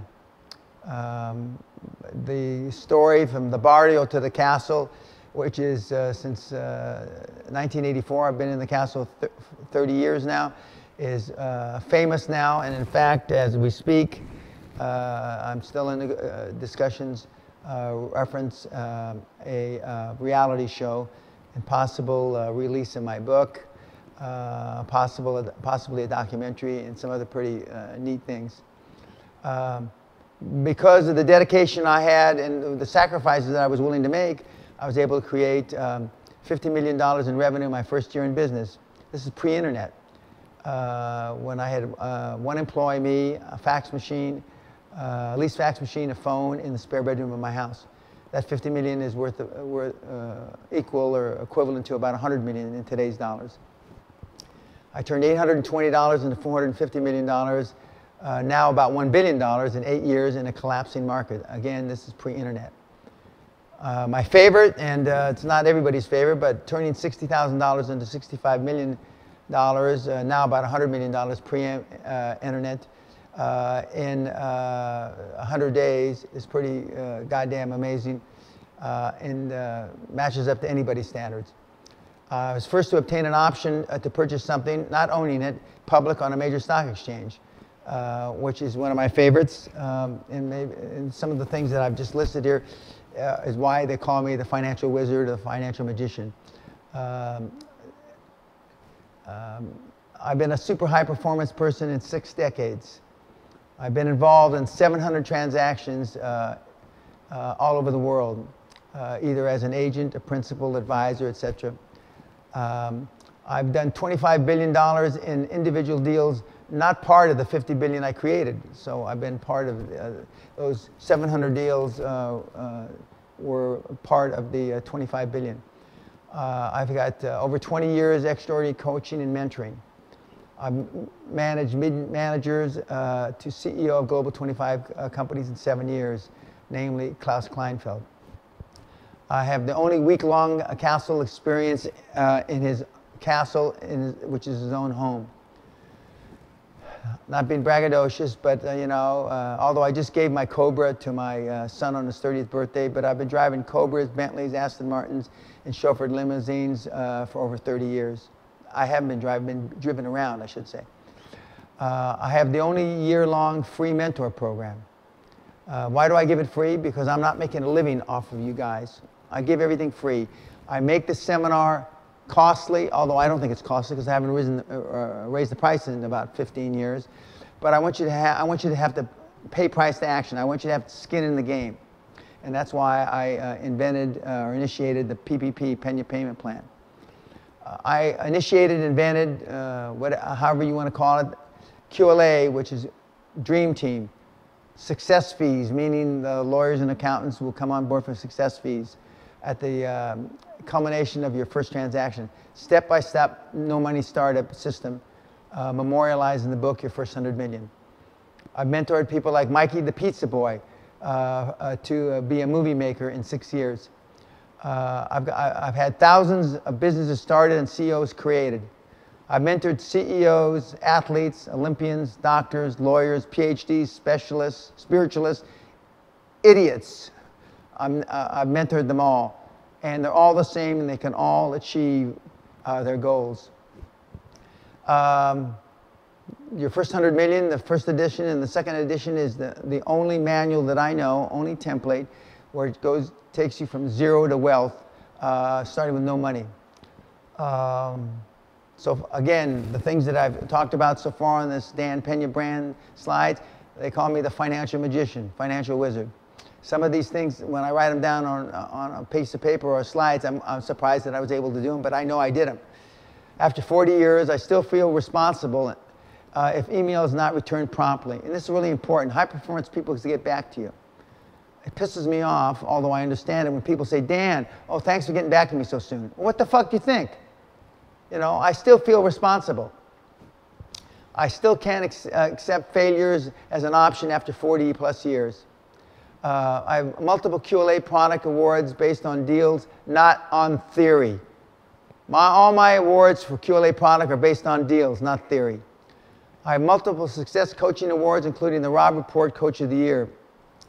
Um, I've, I've, dealt with many foreign governments, including uh, the Bank of England and the Vatican. I've been involved in over 75,000 business decisions. What the fuck? Um, and I never, ever forget small details. As some of you will note that I can remember stuff years back. And when I promise you something, or see, when I tell you I'm going to do something, I consider it a promise. Uh, only person to be sued by organized crime families. Some of you know that I got crossways with uh, one of the big organized crime families from New York uh, many years ago, and uh, they sued me in federal court. Uh, I've been run, run over by an Australian water buffalo, part of my brand. I bungee jumped at, at 69 years old, uh, and uh, the, um, I don't know, uh, it's part of my brand because I'm a risk taker. Uh, I also fought off um, hostile takeover bid uh, on the London Stock Exchange. Now, If anybody that you write, the, the, the, books you're reading have done any of these things, I'd be highly surprised. Let alone all of them, or let alone most of them. But if you even accomplish just a fraction of these, you'll be a big time, high performance fucking dude. Uh, and the and it's the reason why you know do you have it in you yeah. When i was growing up they, they, not too many people thought i had it in me. My mom believed me in anything i did. But was i willing to make the sacrifices you know based on if it was going to be based on my athletic ability i had mediocre athletic ability and whereas my dad was an all-state all-american uh, uh, sports guy in two three sports I mean, uh, maybe this is why uh, I'm compensating by proving that I could be something that he wasn't in, in this area. Um, but the bottom line is, you know, is this, is this kind of life for you? Because every single one of these things I've listed in the Dan Pena brand took a lot of sacrifice. Some took massive sacrifices. Me getting run over by a water buffalo was probably lesser of a sacrifice than some of the other things. Um, and you know sacrifices in time. Uh, you can see the, the right hand tallest blue line uh, is me in terms of uh, 15 hours a day for 50 years. I'm about 130 years old in, in experience. The other line is 40 hours a week, five days a week uh, for uh, 30 years, which would be normally the normal work uh, life of the people that are watching this. Uh, and you can see there's a massive difference. There's, you know, there's a hundred years in difference uh, in work experience. So am I that smart? Well, I'm pretty smart, but I'm not Einstein. And it's the fact that I've, I've worked all these hours. And it's like these podcasts. I could do the podcast like everybody else. Unedit them, no visual aids, et cetera, et cetera. We have a production team that are standing around me doing this stuff. We have lighting, we have cameras. All this co uh, costs money, which is not a big deal, but it takes time. Plus, once we do one of the podcasts, then we have to edit it. My creative team is editing it. Then I have to view it. We view it together. So for every hour that I'm in front of the camera, I'm uh, a couple hours at least uh, editing it, watching it. The other pod guys don't do that. I'm not saying there's anything wrong with those pod guys. No, but I take things seriously because I want to be the best, you know, I can be. And it's one of the reasons, even though I'm new to the pod game, you know, I'm a top of one or two of the categories for iTunes for podcasts. Um, but I do everything like this, and I require you as a mentee to do the things. So, do you have it in you? Absolutely yes. Is it for you? Only you can answer that question, uh, and perhaps, you, hopefully, you can answer it better after you've seen uh, this uh, podcast. Uh, you can you can throw me to the wolves, and I'll I'll return the leading leading the pack. Once you take on the role of being the leader of your pack, the people that you're going to put on your bus to be a high performance person uh, then you too will be the leader of the pack. And uh, I can't emphasize it enough. I mean, all these things are possible. Uh, and you can make them probable because just because it's possible, it's possible that you know uh, I could have been an astronaut. I'm actually too tall, too big to be an astronaut uh, because the capsules are, are, too small. But let's say that I was smaller, uh, and that was my goal, and that I was willing to devote and sacrifice.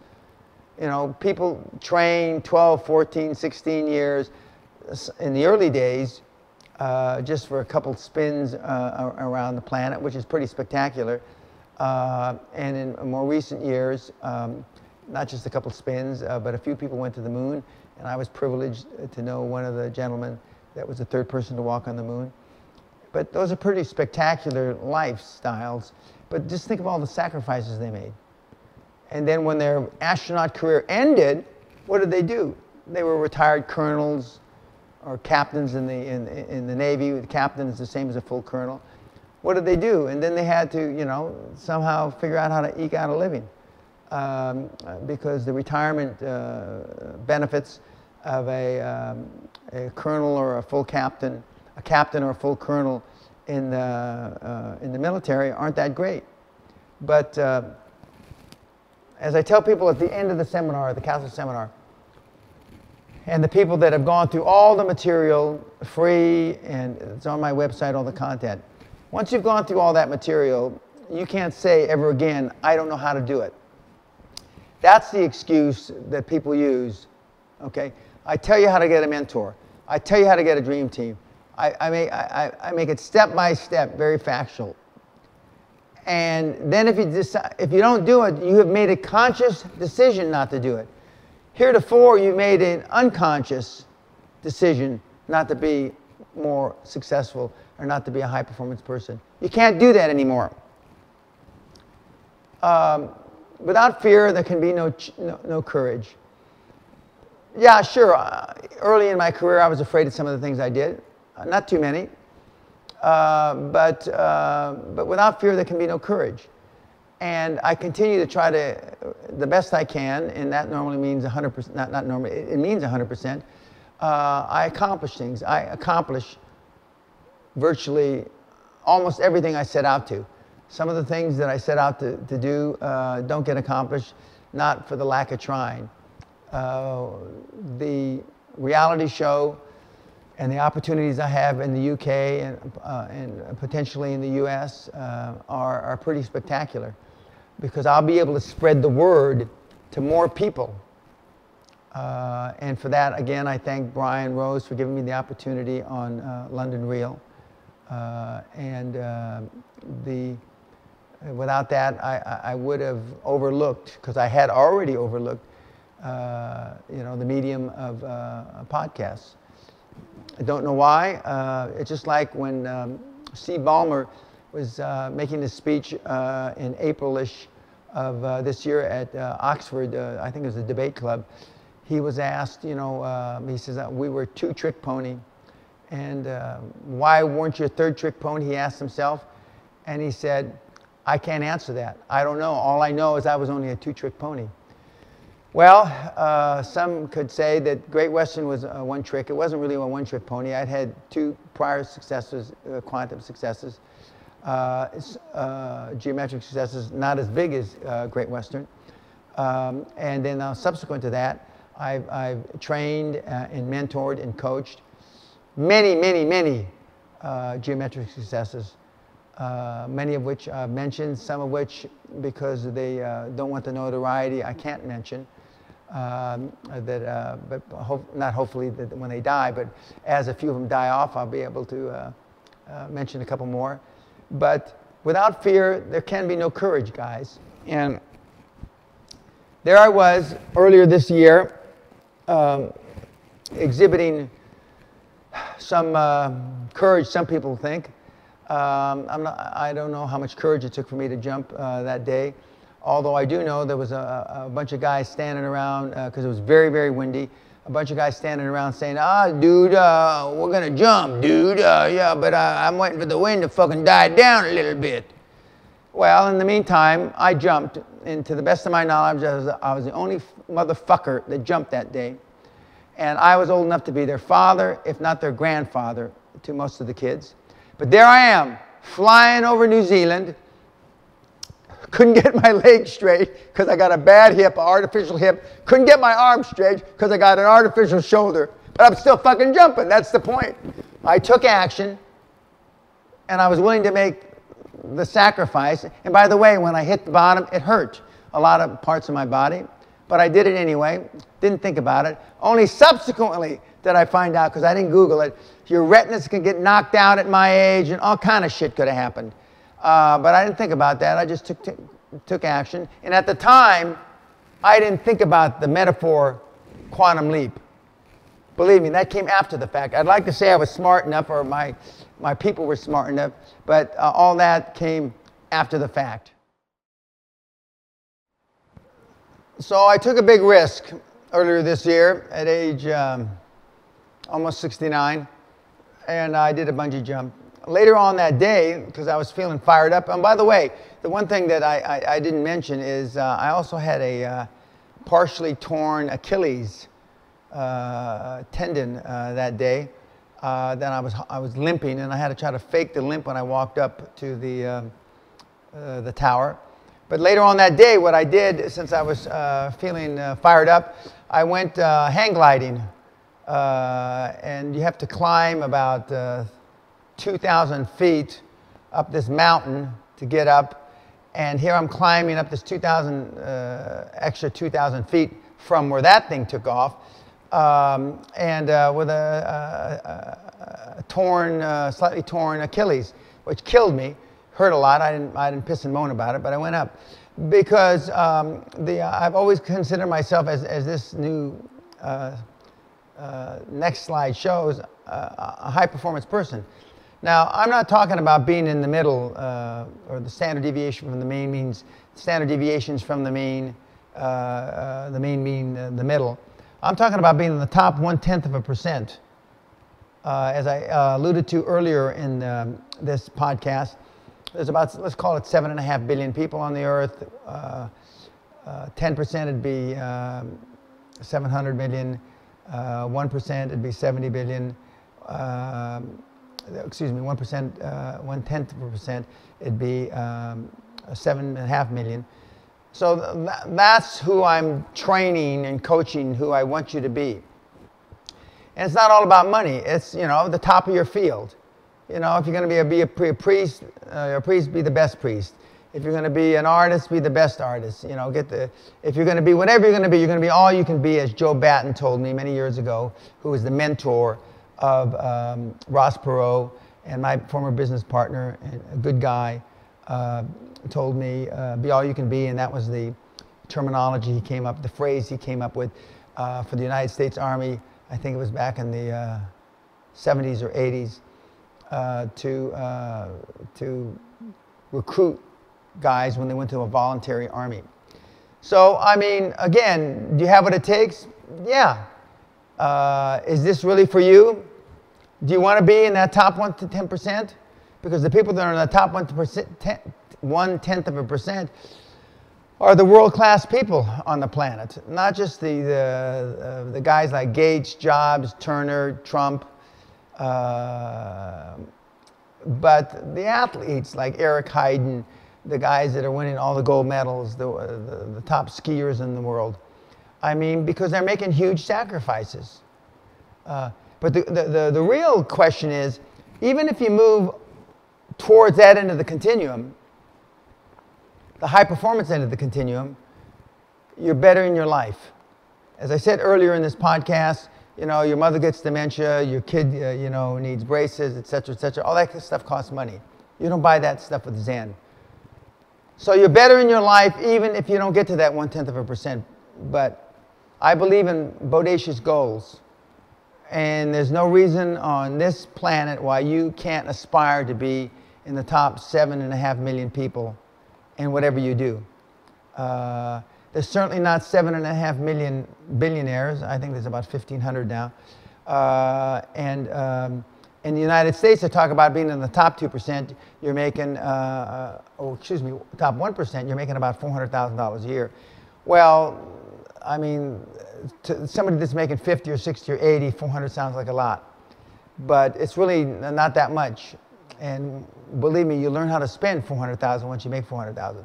I remember the month that I made, first made $10,000 to come to Dan Pena. I remember it like it was yesterday. It was uh, October 1974.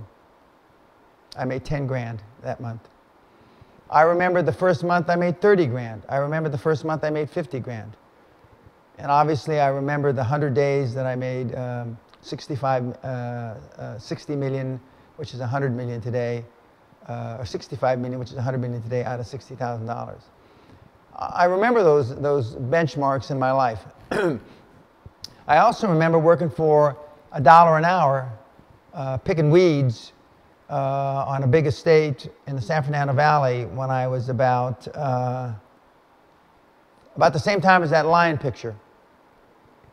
Um, I also remember uh, the first month I worked in the summer of 61 when I was 16 years old. I saw the pay, I saw the pay stubs because I uh, had some questions of the uh, Social Security when I turned 65, so I saw this a few years ago, I made $241 in the month of um, August. Uh, now just think about that. I was getting paid $1.05 an hour as a box boy for Vons Market. And if you divide $240, that's gross, that's, two, that's 240 hours more or less. Uh, 240 hours, and you divide that by four, roughly speaking. Four into 240 is um, 80, let's see, 60, about 60 hours a week. Now remember, I'm, uh, now I'm 16 years old. 60 hours a week, uh, making a dollar five an hour. So I was working, and I think our, our, our, our regular work week was 40 hours at the time, because you have to belong to a union.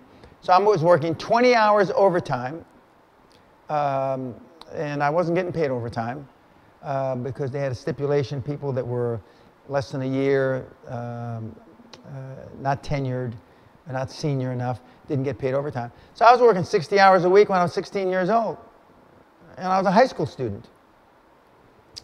Uh, and I still remember these benchmarks because they're important and they're part of the, uh, my history. They're part of my persona. Um, but if you want to run with the, the, the, big dogs and pee in the tall grass, I used to say this at the beginning of the seminars in 1993, you must get off the fucking porch. And I also used to add, because dogs lick their balls, lick their privates. If you want to run with the big dogs and pee in the tall grass, you must get, stop licking your privates uh, and get off the fucking porch. Well, a lot of you are on the porch of life and you know, like an old hound dog, you're just lying there having a, you know, chilling. I don't know what that means. You're chilling. and um, that's not how you become a high performance person. So, I mean, do you have what it takes? Absolutely, you do. Um, do um, you want to make the sacrifices? And is this really for you? Or do you want to stay on the porch licking your privates? I can't answer that question for you. I'm here to tell you that many of you will stay just licking your privates.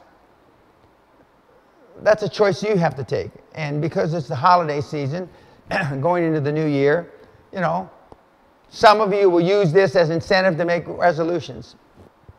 And I'm not, making, I'm not giving this at the holiday time to give you the incentive to come to the next seminar uh, uh, in 2015. Quite frankly, I don't give a fuck if you come. I mean, uh, we're fully booked. Uh, and um, um, I'm happy to say that um, the, uh, we have more people that want to come. But I believe more of you do want to run with the big dogs. When I see in the eyes of those that uh, come to me uh, as a QLA coach mentor, I often see fear caused by former defeats. We've all got defeats. We all have suffered at the hands of uh, how we were taught. We've all suffered at the hands of conventional wisdom. We've all suffered at the hands of uh, making mistakes, uh, being humiliated from time to time. We've all suffered uh, uh, the, uh, as they used to say in um, the wide world of sports, the um, um, the agony of defeat. Now, in spite of all that shit, you can, if you want it bad enough, go to the next level and the next level and the next level and the next level. But it's up to you. But when I, I subsequently see the look on their faces, these are the kids that come to me, after their first success in building their dream team, uh, by finding a mentor or getting lawyers and accountant firms to accept their projects, which are their dreams, on a success fee basis, and or creating deal flow, I know why I'm a coach. I know why I'm doing this. I know why I didn't go off to Vietnam and die. I know why uh, I came back and went to school, university, after flunking out three times. I know why uh, I'm fortunate that my parents had the foresight uh, to, uh, to train me, teach me as a young kid as, as, I did. And that was, that was serendipity as far as uh, my, on my part. I know why Uh, I got thrown out of Great Western Resources uh, on January, I believe, the um, 7th, 1992. Uh, excuse me, 1982. No, 1992. I was right the first time. I, and uh, just a, a, few days after uh, our, my first son was born, I know why. I was born. I, I, was leading towards this destiny to help you kids across the goal line and create uh, minimum so far 50 billion uh, in uh, equity and value. Um, remember, victory belongs to those who believe it the longest and the most. Uh, 21 years ago, when I started uh, QLA, uh, they laughed at me. They ridiculed me. Uh, some of the, the big guys, which some of which are still alive, uh, Gary Halbert's uh, passed on, God rest his soul, but most of the big guys that told me, why am I doing this? when we grow up, we want to be just like you. I was already living in a castle, already had Rolls Royces, etc. why, Dan? Why do you want to waste your time? Especially because the wannabes, Dan, a lot of the guys at that time couldn't look you in the eye because they knew the chances of you succeeding are so fucking slim that uh, you know, even they had guilt taking your fucking money. Well, in spite of all that, well, first of all, I was naive in those days. I didn't really believe it. I didn't believe. I thought they were telling me that shit to keep me out of the business because they were afraid of the competition. Boy, was I fucking wrong. Virtually everything they said about that was true uh, because you know you've been inundated so much with the wrong information, and then in many cases, of course, a lot of the coaching, success, and personal development guys have come around and are giving you good stuff. But are they giving you stuff to build a business? Are they giving you stuff to start a business from scratch? Are they giving you stuff to get accountants and lawyers to accept your dreams on success fee basis? Are they giving you stuff how to get a, a mentor? Well, some are on the mentor part? Are they giving you stuff how to build a dream team? Are they giving you stuff how to close a deal? Are they giving you stuff how to finance the deal? Uh, I just recently did a, a, podcast on how do you get the fucking money? Uh, well, are they giving you that? Well, the answer is no, no, no, no, no, no. And except for the mentor, some of them do. No, no. You know, victory belongs to those who believe it the longest and the most. I believed in this system working because I saw it work for me. And at the time, I saw nothing special about me. Okay? There's still nothing that's really special about me other than my accomplishments. Being raised by a policeman, a uh, uh, housewife, getting thrown out of school, doing a lot of bad things as a teenager, going off volunteering for the draft at the height of the Vietnam War wasn't, weren't acts of the most intelligent kid that you were ever going to meet at 20 years old when I did it. Uh, but from that day, the, I've, I've said many, many times, the only high performance thing I had done up until that time was graduating from Officers Candidate School, Infantry Officer Candidate School, Fort Benning, Georgia, uh, in July uh, 1967. Long, long time ago. But that was my first high performance act. Many of you have never had a high performance act. Now, some of you have lettered in football, baseball, in high school and college. That's more than I could do because I had mediocre uh, skill sets um, vis-a-vis uh, athletics. Some of you gradu graduated with honors. You know, some of you graduated with honors from top-notch schools around the world. That certainly wasn't me. Uh, but it's what you do. It's not what happens to you in life. It's how you react to what happens to you in life. Um, but time is vicious when you take it for granted. Many of you have taken your lives for granted. You've been told, oh, yeah, you're young, you got all your life to do all this stuff. I tell you just the opposite. I tell you, you're young and you're going to be middle aged soon, and unless you get off your dead fucking ass and you get off the fucking porch, stop licking your balls in privates, you're going to be in the same spot 5, 10, 15, 20 years from now. And that's why I get people at the seminar that are in their mid 40s, late 40s, early 50s, and older. You know, time is vicious when you take it for granted. Money you can always remake. Time you can't get back. I realize I'm running out of runway.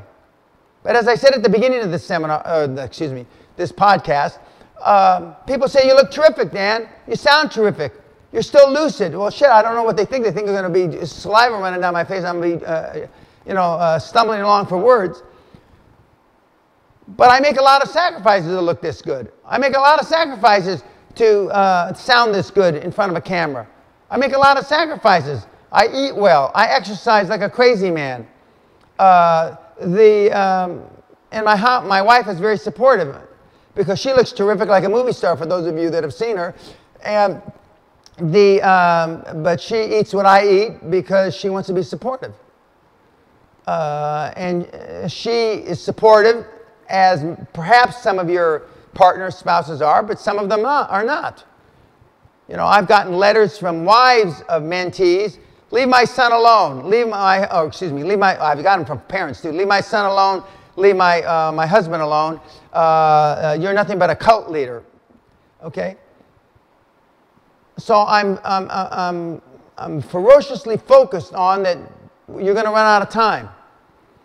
And even though a year seems like a long time to mentor you if you come to the castle, it's really not enough time. But it's enough time to get you started if you're serious. Again, you're all capable of it, but are you willing to make the sacrifice?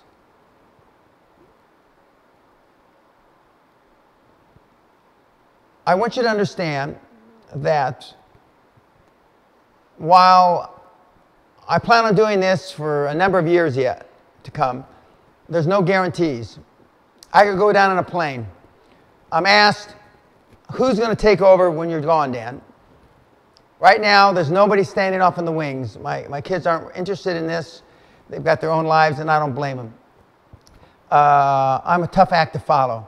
And for those of you that have ever seen me speak, uh, you know that uh, when, uh, you, uh, when I come up after you, that's okay. But when you come up after me, I'm a tough act to follow.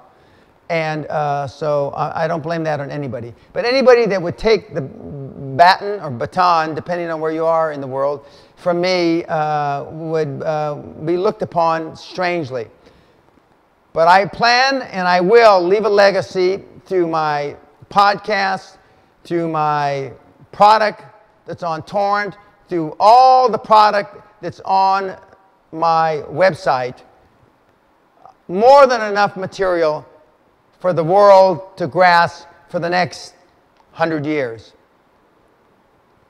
And with a little bit of luck and me driving it like a, like a crazy man, my showbiz career vis-a-vis my reality show that uh, is still in progress and my perhaps releasing, uh, re-releasing of my book uh, and a few other things, I'll leave enough materials to last more than 100 years, 1,000 years. There's still stuff being read that was written before Christ was born, uh, and I expect that they'll be reading my stuff at least 2,000 years from now. God bless. Peace.